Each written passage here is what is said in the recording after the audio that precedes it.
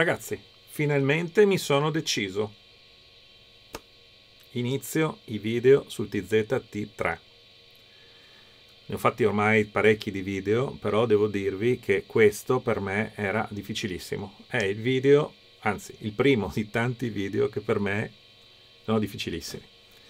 Perché? Perché io a questo strumento ci tengo tantissimo e ho paura, ho sempre paura di fare troppo poco o non spiegarlo bene però le richieste ormai sono tantissime e quindi mi sono deciso. Farò una serie di video, probabilmente saranno pubblicati sul canale di Furuno, però li metterò anche nel canale Davide Serafini, dove spiegherò tutte le funzioni, tutte le caratteristiche, i motivi per cui io mi sono innamorato di questo strumento, tutta la parte cartografia, la parte ecoscandaglio, la parte meteo, e ovviamente gli optional che hanno questi strumenti. Parliamo del TZT3, in questo caso abbiamo un TZT3 12 che è il mio strumento personale. Su questi video farò girare un demo, ovviamente su certe cose che vi spiegherò man mano non riuscirò a proprio darvi tutto, però sicuramente vi farete un'idea qual è il motivo per cui io amo tantissimo questo strumento e come dico sempre toglietemi tutto. Lasciatemi anche solo un rotolino di filo con un amo ma non toglietemi questo strumento. E vi lo dimostrerò. Iniziamo. Quella che vedete qui adesso è la schermata iniziale dello strumento. Si inserisce la password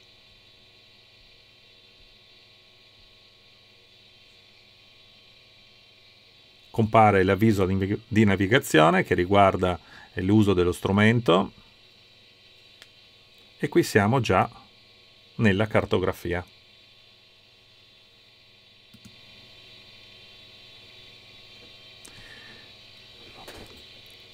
Questo strumento funziona in un modo veramente molto molto semplice. E tanti mi chiedono, ma quanto è complicato, è molto complicato, Furuno è difficile da usare? No, i TZT già dalla versione 1, ma soprattutto nella 2 e adesso nella 3, la Furuno ha sviluppato tantissimo la tecnologia nel, nel senso di semplificare al massimo i menu e le funzioni da fare. E c'è una logica che si usa su tutte le schermate, che è veramente semplicissima, basica è la prima cosa da imparare. Abbiamo in pratica tre menu, un menu basso, un menu laterale, un menu sopra, se si può chiamare menu, e dopo eventualmente la barra dati che abbiamo qua di lato. Come vedete è tutto veramente molto molto molto semplice. Con queste quattro funzionalità siamo in grado di accedere a praticamente tutti i dati più importanti che abbiamo su questo strumento.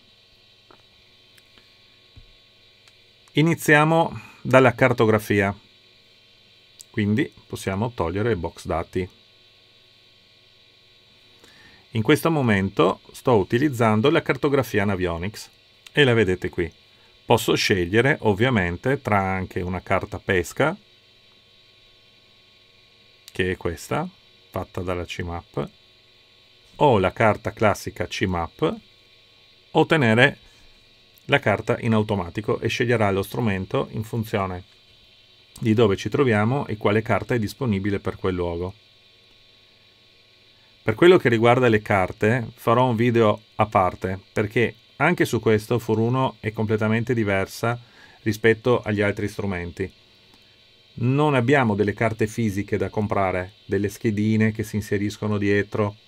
No, le carte sono precaricate su una SD o si possono caricare tramite internet e semplicemente noi andiamo a acquistare dei codici di sblocco che vengono dati in funzione della macchina che uno possiede.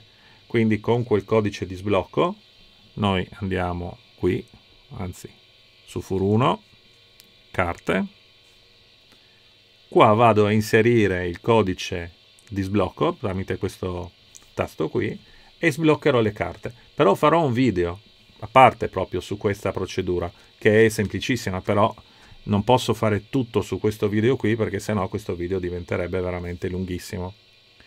Come vi spiegavo, abbiamo qui di lato le, tutte le informazioni più importanti di navigazione che stanno tutte quante qua. Abbiamo questa barra sotto che ci dà tutti i dati più importanti e le scelte che possiamo fare sulla nostra cartografia.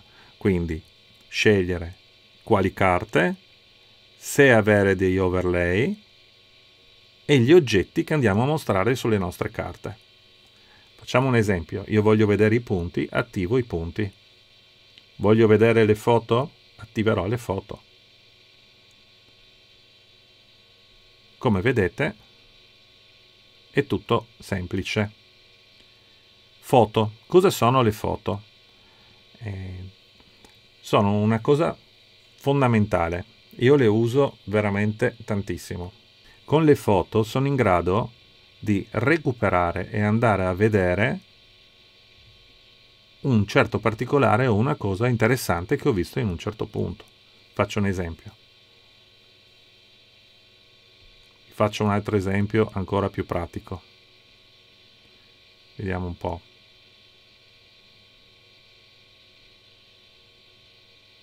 Pescavo in questa zona e posso andare a vedere cosa ho trovato in questa zona.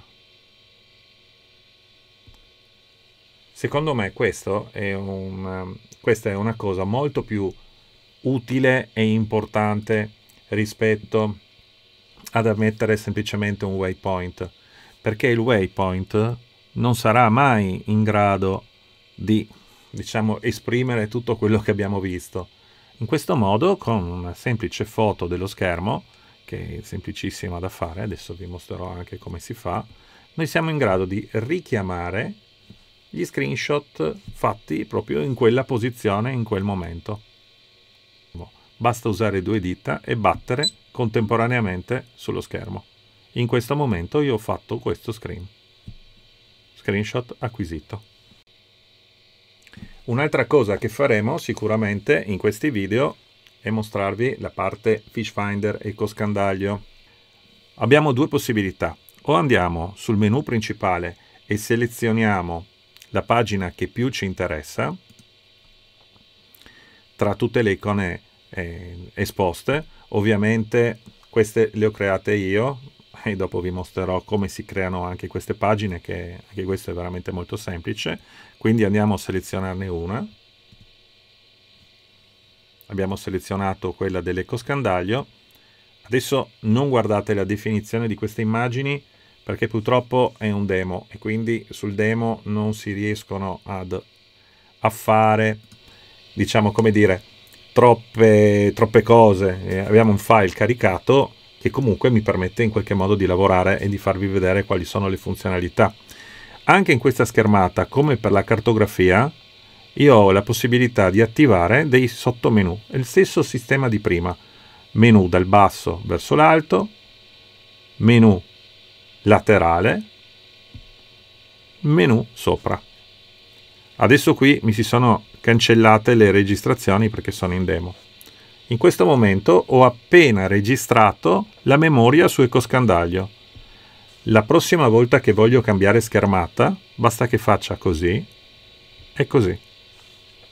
Come vedete, semplicissimo. Proviamo a fare una schermata doppia. Quindi così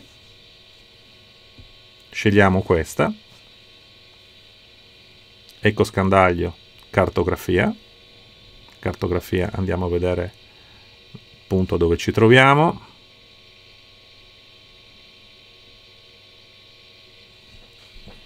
Io in questo momento ho attivato la parte cartografia. Se vado da quest'altra parte ovviamente posso tirare il lecco-scandaglio. Torniamo sulla cartografia. Come vedete, di default mi ha messo anche un radar, un overlay, è sempre un demo, vi ricordo. Con la carta attivata, scorro verso l'alto, vado sugli overlay e tolgo gli overlay che a me in questo momento non interessano. Come vedete ho pulito tutto. Se voglio andare a modificare l'ecoscandaglio, seleziono l'altra pagina, seleziono di nuovo il menu e qui posso andare a scegliere cosa voglio fare. Per esempio, modifichiamo la visualizzazione, andiamo su frequenza singola. Come vedete in questo momento ho la frequenza alta. Voglio cambiare frequenza, basta toccare qui e passo sulla bassa. Come vedete il gain è altissimo perché sono tutti manuale. Torno qui, vado sulla modifica del gain e vado a regolarmi il gain nel modo corretto. Salviamo anche questa pagina. A darvi il fatto. Basta toccare. La pagina è salvata. A questo punto andiamo solo su ecoscandaglio. Come vi dicevo, tutto molto molto semplice. In questo momento il range in manuale, quindi lo modifico con due dita. In questo momento sto operando con lo shift. Fatto un video sullo shift, andatelo a cercare sul canale, perché bisogna usare lo shift e non lo zoom. Per migliorare la visione posso usare anche il clutter. Come vedete mi si variano ovviamente i target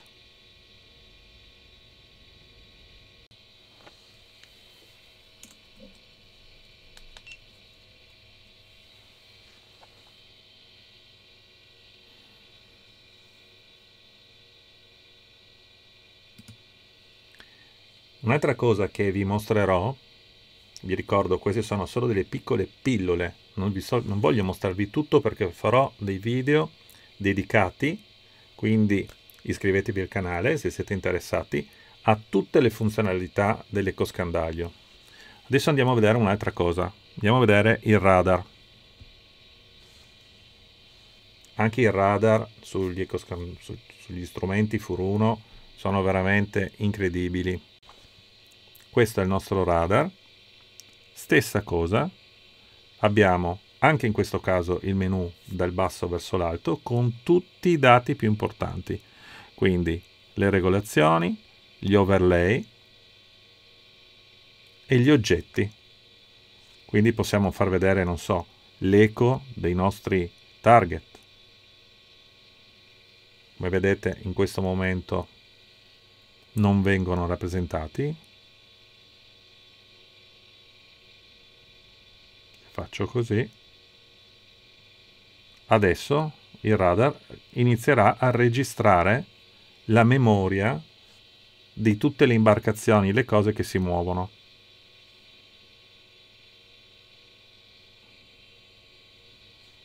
Posso scegliere le tavolozze colori, ovviamente.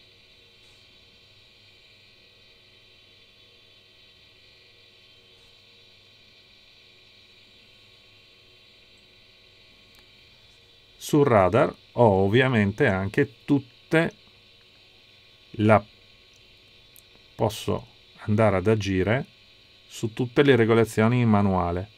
Cosa che vi dirò? Realmente io non ne ho mai avuto bisogno perché in automatico questo radar funziona veramente molto bene. Anche qui abbiamo sempre il classico menu laterale. Posso scegliere di far vedere le, i dati di navigazione o toglierli. Posso inserire delle posizioni. Posso andare a modificare la posizione del, del centro radar in un modo veramente semplicissimo. Oppure andare a allargare o restringere la zona di visualizzazione. Un'altra cosa che posso fare, che qui su questo demo purtroppo non funzionerà, sulla cartografia andare sugli overlay e scegliere l'overlay del radar direttamente sulla carta. Qui, come vi ho detto, non può funzionare perché sono in una simulazione e i dati del radar non coincidono con la costa, con tutto quello che sta intorno. Però, anche in questo caso, posso mostrarvi quanto è semplice modificare tutte le varie opzioni eh, per trovare le, le, la funzione che, noi, che per noi è migliore.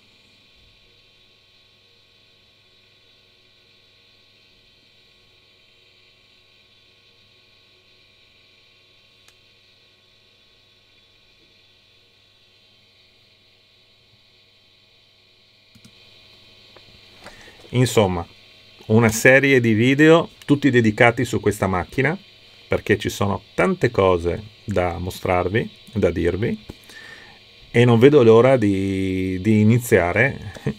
Mi raccomando, fatemi domande, chiedetemi tutto quello che volete. Per me è importantissimo perché le vostre domande servono anche per fare dopo nuovi video, nuove cose.